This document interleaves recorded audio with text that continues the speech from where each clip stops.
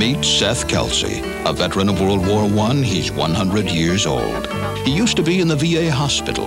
Now, Seth receives care in his home because of legislation sponsored by Orrin Hatch. Home health care was a way of really helping people because most people, especially our, our elderly, they feel a lot more secure if they're cared for in their own home.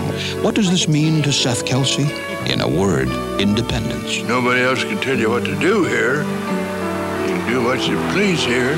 Home health care also serves our children. Let me give you an example. We have an eight-year-old girl right now here in Salt Lake City named Jamie. She has cerebral palsy. With the help of home health care, two separate surgeries, and physical therapy, this little girl who never had a chance to walk is now going to walk. So this is the best thing that ever could happen. My attitude is we should never let people like this down. He cares enough to make a difference. Utah's Orrin Hatch.